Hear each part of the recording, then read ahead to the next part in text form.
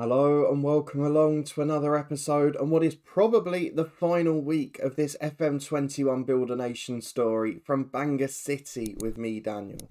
It's part 183 and today we are back for a, a nice warm up against Colwyn Bay in the Welsh Premier League before the return leg of our Inter Milan last 16 Champions League tie.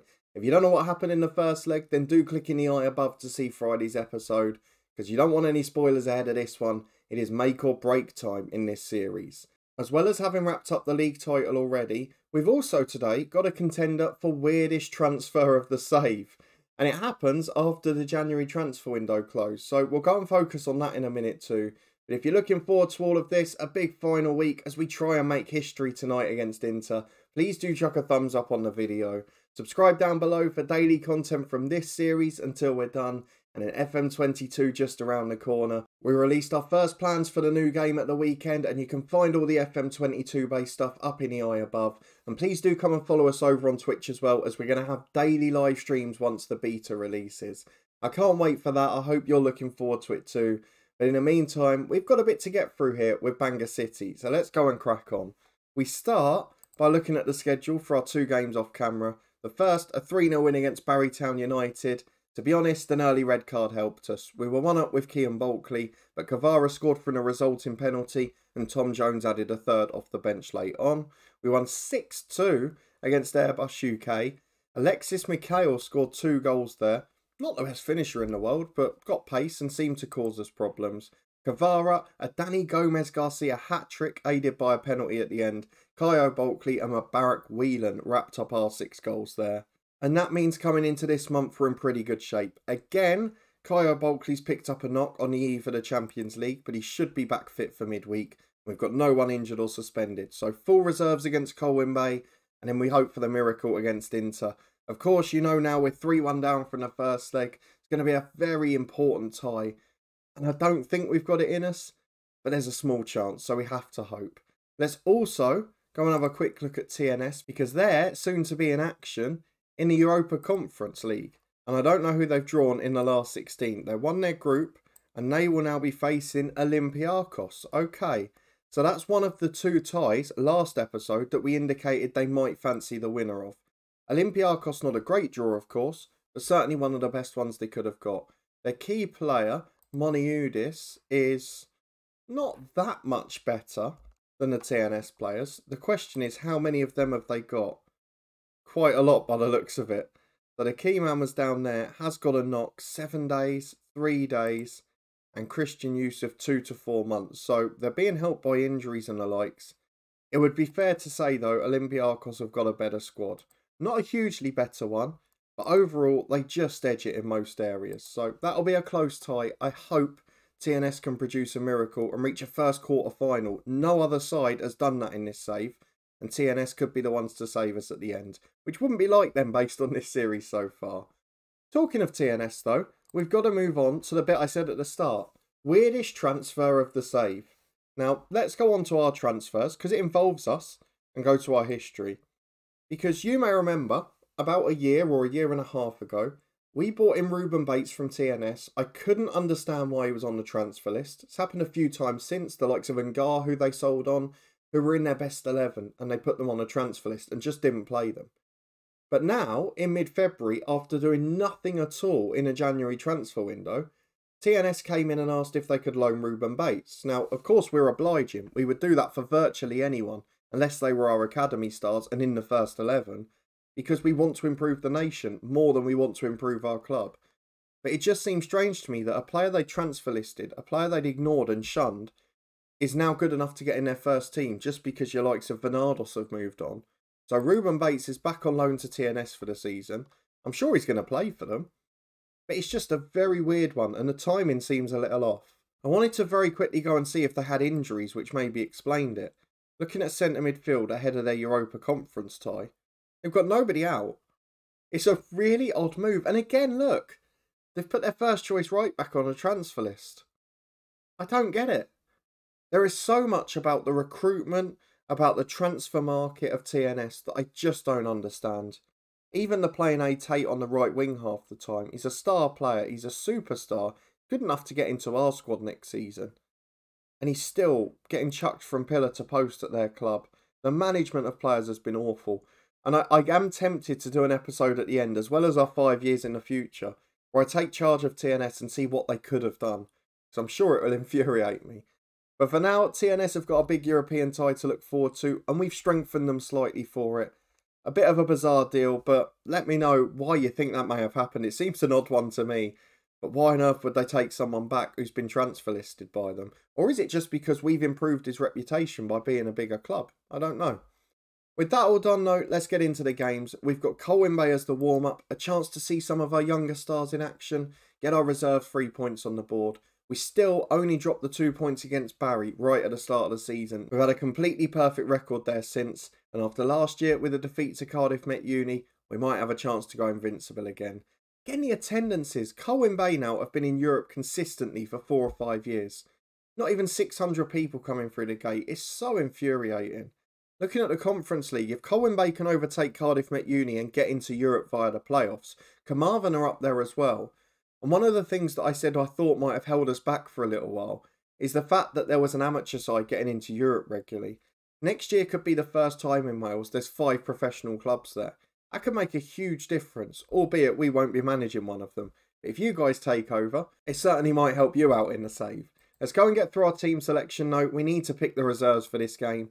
And here we go. A bit like the last episode, actually. The only first team we're playing is Reddy, and that's because he's got a light match load. All the others medium, so we've chucked him in for this one. We've got the mix of first teamers and youth players and reserves on the bench, so we should be able to give a few an opportunity. Again, the likes of Pope, we've not been able to loan out. Even Josh Ridd, we tried. Really bizarre that some players just, as soon as they play for us, their reputation is too high to go elsewhere, or their ego perhaps is the thing that needs damaging more. But the 11 that we picked for this game is Agost in goal. Nenov and Tranter the fullbacks with Odell and Leon back in at centre half. Chapman, Reddy, Gomez, Garcia and Davis the midfield diamond with Goulding and Waters up front. I was thinking, I was umming and ahhing about putting Goulding into the Champions League team and then he's gone on his worst run of the season. So five games, no goals and an awful rating. We need him to bounce back tonight and then maybe he gets an opportunity. But last time we played a team similar to this, we got beaten in the SPFL Trust Trophy by a reserve side. So Colwyn Bay will certainly be no mugs. We need to be at our best. Let's see if we can achieve. Let's see if we can get people fitness and hopefully get a good result with it too. Well, it's 10 changes from the last game. Only Gomez Garcia keeps his place. We're going to tell the lads we expect them to win comfortably. It's an okay Colwyn Bay side. I mean, David Johnson is still up top. He's their star man. But the rest of the team hasn't really improved and come along at the same level. I have got Edwards in centre mid, who they signed on a free agent deal in the summer. Not a bad player, but no real sign of big progress this year. Probably the worst year they've had Colwyn Bay, both in Europe and in terms of their improvement. We need them to get up to fifth in the league, though, so we wouldn't begrudge them a result today. We want them to have to earn it, though, as Johnson goes on the end of a long goal kick, flicks it on for Mashali. He goes down the right hand side, taking on Tranter. Balls back to Lance. He's got men on halfway, goes back to his centre half, who hits a long ball up to Yeboah. Leon wins it for Reddy, but Spence is there first. Already losing the second balls, which isn't a good sign. Hawkins over the top. Leon heads away. Reddy will get there. Back to Nenov.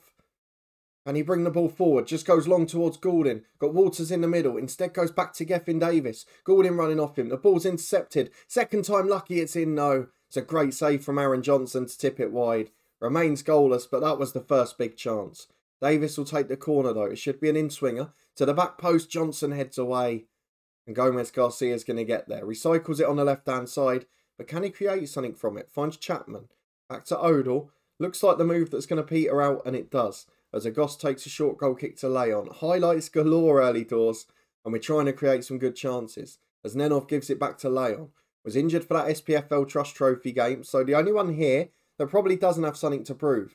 Goes long down the left towards Walters. The keeper comes, caught in no man's land. Walters gets there. Into the box he's brought down. And it's going to be a penalty kick. I'm going to give it to Lloyd Goulding for this game. Just because he scored one out of two this year. But I want him back in form. And normally, if you give a penalty to someone who's not in form, it's a disaster. Let's see if today he can refine his form. Goulding sends the keeper the wrong way. It's 1 0 Bangor City. It's a brilliant start. And now we need to get three or four. Let's really build the confidence. As we've got a free kick 25 yards out on the right hand side into Hector Leon. Johnson gets a hand on it, doesn't stop it going goalwards, but does slow it down, and it's cleared off the line for a throw in. Three bookings already for Colwyn Bay. Strikes you as the sort of game where there might be a red card. But overall, we've been the better side. Not utterly dominant, we've played very well. It's a goal kick for Colwyn Bay here. Chance to get the ball forward with 26 gone. Long ball from Aaron Johnson up towards his namesake, I'd imagine. Mashali flicks it on. David Johnson's in. It's awful defending. I think he's going to score here, is he? He's not. Agost denies him with a fabulous save. That is the worst defending I've seen for a long time at this club. It's a corner kick, outswinger from Sampo, one of those already on a booking. Gomez Garcia heads it away, and Hawkins will bring it down again. Colwyn Bay certainly got a threat in this game. It's by no means over at 1 0. It's a throw on the left hand side. Hawkins takes it to Sampo. Chapman hooves clear. Goulding flicks on. Nobody's there. The expected goals is going up for Colwyn Bay though. That chance went down as a clear cut one for Johnson. Spence brings the ball down in a holding role. Plays wide to Sampo, who goes back to Hawkins. And to be honest, going direct, they look like they've got a threat. Nenov wins one in the air this time, finds Reddy. Long ball forward towards Goulding. Make it two, wrap it up. Lloyd Goulding's back in form, and he's given me one hell of a decision for midweek. Do we go for Keon Bulkley, the better player, the European golden boy? Or do we go for the quick lad in behind who can run in and score? I haven't decided yet. I'm going to have to later in this game. Maybe we give Bulkley half an hour to impress. As Nenov throws in from the right to Gordon. Crosses towards Gethin Davis. He's got an assist now as well. He's starting to make me lean towards him. Lloyd Gordon having the game of his life. It's 3 0 to Bangor City. Colwyn Bay just can't handle him as it's a free kick on halfway again. Hector Leon will take the short one to Odell. Finds Tranter, who can run into the space ahead of him. It's being closed down, so forced back to Chapman. Got men on halfway, goes back to Odell. Can we find that killer pass as Tranter picks it up on the left to Chapman? Everything's being played in front of Bay at the minute, and we've seen before we're much more of a threat when we try and get in behind. Gomez Garcia to Odell. No idea why we're seeing all of this interchange. Maybe it's going to be one of those 30 pass moves. Davis into Lloyd Goulding on a hat trick. Shots blocked and cleared away for a throw. Almost the perfect way to go into the break. First half hat trick would have made the decision. Half time, no, not an utterly dominant display. Colwyn Bay have had their chances, one clear cut one for sure. We've got ourselves a 3 0 lead. We should be comfortable. We'll leave it till the hour mark to make changes. Let's see if we can keep it up. Okay, 25 to go. No further highlights. I was kind of hoping that this game would be wrapped up by now and that Gordon would have got a hat trick so I could take him off. As it is, we are going to take off both of the centre midfielders who I feel will have an involvement in midweek. On for them will be Nathan Roberts with Gethin Davis dropping into the diamond and Tom Jones continuing to increase his league appearance record. And then up front, do I take Gordon off on a hat trick? I'm gonna because we need him in midweek. Hope comes on, no other club wants him, so we might as well give him a game. Now let's see if we can wrap this up comfortably. I wouldn't mind if there were no more highlights. I'd rather that than a Colwyn Bay corner, which is headed just over the bar from a free header. Again, really poor defending. We've not been at our best defensively all season. It's been a bizarre one for first team and backups. We tend to go, it's 3 0. We're going to get the win. We can't ask for more. Cardiff Met Uni not getting points either, so Colwyn Bay level with them. And Carmarthen have wrapped up an automatic European spot. That is going to be telling for next season. As White puts the ball in, what a free kick that is. Save back to Edwards who scores. We mentioned him pre-match as the man who might be able to deliver a change. And Agost is beaten at the near post. 3-1, the clean sheet's gone yet again. But it's a good warm-up for midweek and Inter. We'll be back in three days' time to the Racecourse Stadium as we host Inter Milan for a place in the Champions League last day. It's a slim chance, but it's not over. Fitness test time. Kyo Bulkley is fit. We've had a news item to say for the first time we're expecting to sell out the racecourse. And just as I was edging towards picking Lloyd Goulding, Keon Bulkley, trainer of the week, now really improving too. So I do not know which way to go. We've got some selection dilemmas as Rafe try and hold on to their lead at Paris Saint-Germain. We've got a very different challenge. A big comeback needed, a special night needed. We've got a sold out crowd. The maximum capacity available is there. How many of them will be backing us, I don't know. Let me go and sort this 11 out, make some big decisions. We'll talk ourselves through it in a second. Right, decision made. We're going old guard. Everything apart from centre midfield where Reddy's going to start is the old fashioned way. Lloyd Goulding is going to be the centre forward. We're also going for the likes of Tom Jones on the bench. We are trying to get that old school, unbeatable feeling back. And we just have to hope that it leads to a perfect performance. We've got Simancas between the sticks, Simmons and Fletcher the fullbacks, with Jennings and Briones at centre half. Mubarak Whelan, Ruben Reyes, Marcus Reddy, and Kyo Bulkley, the midfield diamond, with Lloyd Goulding in alongside Bojan Kavara up top. This needs to be a big one. With 3 1 down after the first leg in the San Siro, we have to win by two clear goals and not concede. We concede one, it's extra time. We can see two, we need to win by three. Let's go and get into it, see if we can produce the miracle. Nine changes from the weekend game then, just Reddy and Goulding keeping their places. It might turn out to be a stupid decision, but look at it the other way. We've got the likes of Gomez Garcia and Kean Bulkley sitting on the bench if we need them. We couldn't ask for much stronger than that, could we? Into the first half we go. We're going to stick with a balanced mentality initially. We don't want to concede goals early. If we can get on top, fingers crossed we can get the early goal as Romero gets it on the left. We know this side very well from Inter. They're a team that have done brilliantly against us in the first leg. They've caused problems all year. They're one of the best sides in Europe. They've also got Proyer back, the right back, who is just about the best one in the world. Goes back into his centre half, Brignoni. Time on the ball, goes wide. We can't get there first, we're second to everything. Betenzana, Brignoni switches the play. Ramos has time on it. Through ball to Romero, not like this. Chooses to pass instead, which suits us. Vigio crosses though to the back post. Isela keeps it in. He's got support from the fullback Proyer. Delivers into Ramos. Just over the bar. A warning sign very early for Bangor City. Looks like it's going to be another difficult night. The wing-backs causing us all sorts of chaos. And we've not really had a kick in this game yet.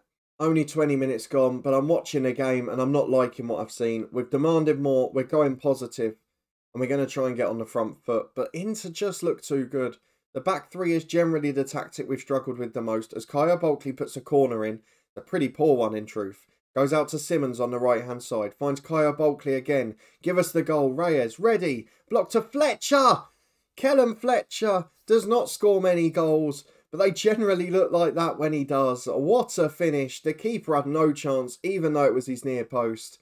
It's 1 0 Bangor City and this tie is very much on. If we can get a second and not concede, we're through to the quarter final. But at half time, it does remain 1 0 to Bangor City. Inter Milan have had chances. We saw one of them on camera. We're going to encourage the lads, try and get those anxious players off it. And it is the key ones your Simmons, Whelan, Bulkley, players you would expect to make a difference. As Kvara gives it to Reddy just in the second minute of the second half.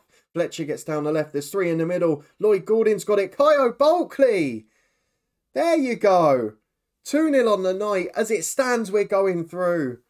Lloyd Gordon sets up the goal. And to be honest, ironically, it was the thing we would expect Kean Bulkley to be best at. Ball coming into the box, holding it up back to goal and laying in one of his fellow players. Kyo Bulkley delivers on the big stage again as it's into Bojan Kavara.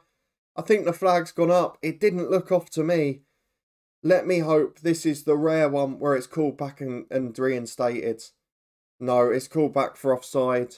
Unfortunately, it won't be Dreamland yet. But as it stands, we're going through, and this is just about the best we could have hoped for. As Kavara gets it to Kyo Bulkley, we're completely dominating now. You can see the shift in momentum and confidence. Fletcher marauding down the left. He's been involved in everything. Gets it back to Reddy. Oh, the flag's up again. Keeper saves the first one. Gordon taps in. We've already had one for the first time in 20 years this season. We're not going to get another now, are we? Two offsides in a row. Otherwise, it could have been four, and we could have been in celebration mode already. But what a performance these boys are putting in. Since we've got on the front foot and really tried to push into back, we've looked phenomenal. Leon Simmons puts a through ball there, not quite found its target. Goes through to Vigna in goal. Now, what we've got to avoid is conceding something stupid. Jennings tries to do that by winning a big header. Finds Reyes to Reddy. Got an overlap from Fletcher on the left again. He has just been constantly marauding down there. He has been utterly phenomenal. It's into Kyo Bulkley. Blocked to Kvara. Even the text is broken for the goal celebration because they cannot believe what's going on. Again, the delivery comes from Kellum Fletcher. Again, the composure comes from Kyo Bulkley. And Bojan Kvara scores the third on the night. Now if we concede this extra time, but I'd like to avoid that. Don't sit back. Don't do something stupid now. Jennings has flown into a tackle and not made it. Proyer's overlapping on the right hand side. Whelan goes out to him. Reddy brings him down. Gets the ball. Falls for Proyer though. Into Romero. Heads it comfortably wide. Just starting to see some of the legs tire now. And I don't know whether to stick or twist. I'm going to take off Reddy. I'll replace him with Gomez Garcia. Two reasons. One, no real change in quality. Two, Gomez Garcia, good defensively, really good engine, gets around the pitch well. And three, I don't trust any of the others to do it yet. We will take Goulding off in a minute as well. He's going to be replaced by Keon Bulkley. And I'll save the last one because at the moment, if we don't concede, we're through to the Champions League quarter-finals. And it would be a historic moment in the final season. None of us expected this. Ruben Reyes back to Simancas. Long ball forward. Brignoni heads away. There's nobody there. Betanzana to Proyer. This is heartache. It's utterly awful to watch. Izella's in. Not like this. Great challenge from Jennings. I've never agonised over watching a game so much. Betanzana puts it in. Briones heads clear. Please just run up and get me a fourth. Give me a calm couple of minutes. Good challenge. Izella still gets it in. Jennings heads away again. He's been a man mountain back there. Kyo Bulkley can counter now. Don't you get caught. Release the ball. Wins the free kick. Excellent work. I'm going to bring on Nenov for Simmons. I know he's shorter. I know about the back post heading problems. But Simmons looks anxious. We have got two minutes of stoppage time to go. I was about to time waste, but you know my superstitions. Proyer heads it away to Whelan. This goes out of play. We will be time wasting our backsides off. Through ball to Kean Bulkley. Deflects through to Kvara. We don't need to. We do not need to time waste. Bangor City 4. Inter Milan nil. It was a comedy of errors that led to it as Inter tried to get it upfield. But Bojan Kvara completes the brace. And that is the best night in Bangor City's history. A Champions League quarter final for the last season of the save a fitting moment, and after disappointment in the SPFL Trust Trophy, after disappointment across Wales, we have produced a monumental moment to make it through to the last eight. Now let's go and see how TNS get on in their first leg as we praise the lads for an unbelievable moment. Well, almost the perfect end to the perfect episode. TNS very much in the tie against Olympiacos. A 3-2 defeat away from home. Let's go and see who scored their goals. Did A Tate get one? No, he got two. That's how important he is to TNS. Olympiacos have got a tough test on their hands. Next time we come back, TNS may be through against Olympiacos to a quarter final. I really hope so. And we are going to be back for a Champions League quarter final. Whatever game's in between off camera, we'll skip it because that is a historic moment and it deserves its own episode. I don't believe that we've got it, but yes, a Champions League quarter final is what's coming next up. If you did enjoy this episode, an incredible performance against Inter Milan, please do put a thumbs up on the video. Subscribe down below for daily FM21 content from this series till the end of the season. It's taking a bit longer than I thought now. And you can catch up in the eye above with all the FM22 plans. Please do turn that notification bell on because we're only a couple of weeks away from the beta. And then we are going to be going all out with the new game. We've got a job to do with Bangor City first, though. We will be back tomorrow for the biggest games in our history. We'll find out who we're playing. We'll hope it's a nice tie, but there probably aren't many left at this stage. I'll see you next time to find out. Thanks for watching as always.